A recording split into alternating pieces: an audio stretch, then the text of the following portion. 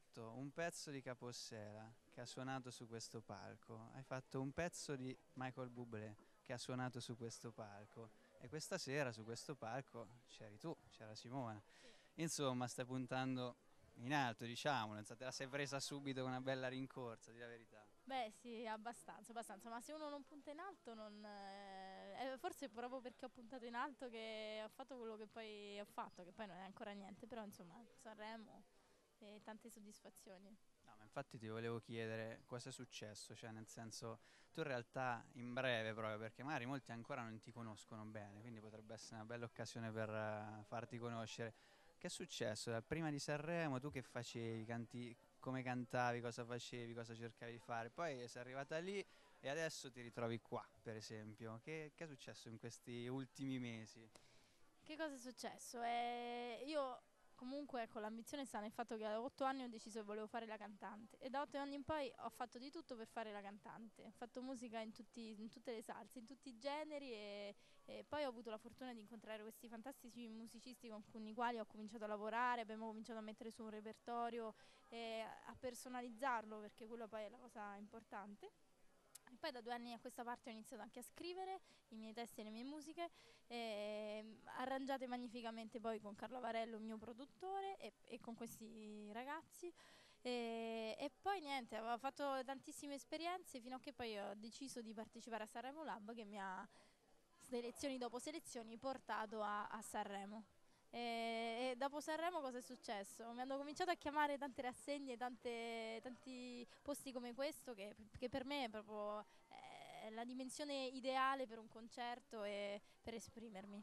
Infatti ti volevo chiedere, questa sera per esempio, che hai sentito? Perché questo è un club in cui la gente in realtà viene diciamo, molto si fida del nome del posto, quindi sa che se c'è Simona Molinari in cartellone vuol dire che è una che merita prescindere da Sanremo, prescindere da tutto. È, è gente che ti ascolta in silenzio, che va a sentire, non è che fa casino, si beve una birra, ascoltate. Quindi hai sentito questo impatto con questa vicinanza del pubblico? Assolutamente, in questi posti così dove c'è questa specie di aura, eh, senti proprio la comunicazione e il... Um, cioè, lo spettacolo lo faccio io qui sopra, ma lo fanno loro da, per me, lo fanno loro da, da, giù che mi ascoltano, che mi applaudono, che un sorriso, un qualcosa, è proprio una, uno scambio.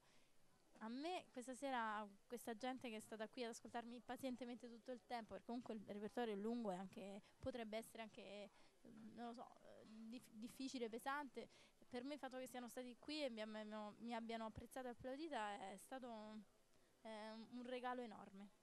Eh, sicuramente non è pesante, però c'è da dire che per esempio arrangiamenti diciamo jazz non è così facile nella scena attuale proporre qualcosa di comunque così impegnato tra virgolette, perché comunque la musica che tu fai non è pop, diciamo, classico. Infatti volevo dire, dal tuo punto di vista, che sei una che si affaccia adesso nel mondo tra virgolette dei grandi e che però ha fatto la gavetta come penso tutti quanti, è un periodo questo in cui si sente da anni che ci si lamenta del fatto che comunque la musica in Italia sta passando un bruttissimo periodo, che comunque le belle cose sono quelle del passato, quelle del presente sono un po' meno belle, tu invece vieni proprio da una rassegna che scopriva nuovi talenti, sei arrivata su un palco importante, adesso stai vivendo quello che vive un artista che comincia a farsi conoscere al grande pubblico, pensi che in realtà non sia quindi così vero oppure pensi che sia un caso, un sogno che il classico uno su mille, che, che, vedi, che hai visto tu appena affacciata in questo panorama?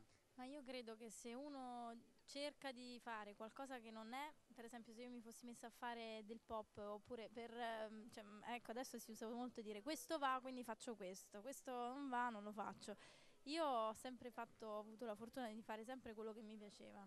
E questo che, che abbiamo creato, insomma che stiamo creando in realtà perché poi non è tutto qui, ehm, è comunque quello che, quello che siamo e quello che portiamo. Poi diciamo non abbiamo mai puntato a fare a, al successo sicuro, abbiamo puntato a fare quello che ci piaceva e questo è stato forse premiato. Io quindi infatti consiglio a chi fa musica, a chi vuole fare musica di fare quello che vuole fare. Tanto come hai detto tu, la musica non sta passando un buon periodo, a questo punto facciamo qualcosa che ci piace. E hai detto che non è tutto qui, quindi a questo punto un minimo ce devi svelare, cosa c'è dietro? Eh sì, adesso sta nascendo il secondo disco, stiamo vedendo bene come, come farlo per rendere che mondo dare al prossimo disco, che, si, che sarà sicuramente su questo, su questo mondo, però ecco, eff- effettivamente io in questo disco ho, ho messo anche eh, cose più vicine al pop, più vicine al, al jazz, dobbiamo sce- capire veramente qual è la strada nostra, insomma, da, da seguire e, e, portarla avanti. E stanno nascendo nuovi brani, nuove... insomma, il prossimo disco sarà tutto da scoprire. Lasciamo un po' di suspense. Guarda, un'ultima domanda, visto che lì siamo ripresi e la maggior parte della gente ci vedrà, è gente che starà dietro un computer, perché in realtà, come sai, questa serata viene trasmessa, è stata trasmessa in diretta sul web. Tu che rapporto hai con queste nuove tecnologie, queste per esempio questa parte molto sociale del fatto di diffondere la musica attraverso internet, eccetera, eccetera. Trovo che sia ottimo perché appunto magari una serata come questa eh, altrimenti morirebbe qui. Invece con queste nuove tecnologie fortunatamente insomma eh, ci si può far conoscere meglio. Dal mio punto di vista è sicuramente ottimo.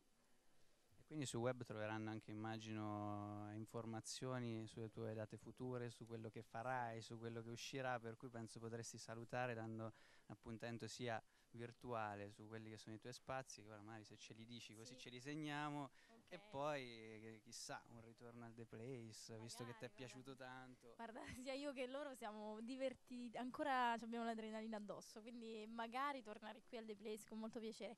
E i, mm, i miei recapiti sono, i miei recapiti virtuali. virtuali sono eh, www.myspace.com slash Simona Molinari e il mio sito www.simonamolinari.it ho anche un fan club fantastico e lo ringrazio e lo saluto probabilmente questa sera anche qualcuno era qui eh, dove veramente più, sono più informate loro che io e che il mio sito trovano davvero delle cose incredibili che eh, Simona Molinari Fans Forum è veramente ottimo.